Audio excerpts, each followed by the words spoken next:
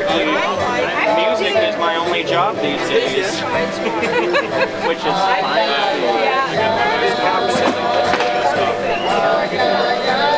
Um, my name is Natascha Cronin. I am the Rogue Hop Yard manager, and I've also uh, helped this year on the Hop and Heritage Committee. Uh, Rogue's been involved with the Hop and Heritage Festival for uh, the last several years. Uh, we always have the beer garden, and uh, we help with the sponsorship.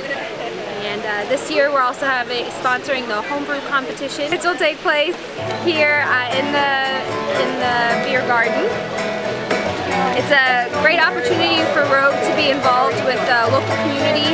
We really enjoy being part of Independence and helping as much as we can. And uh, it's also a way for people to learn about our farm right outside visit us there and see where the hops are grown.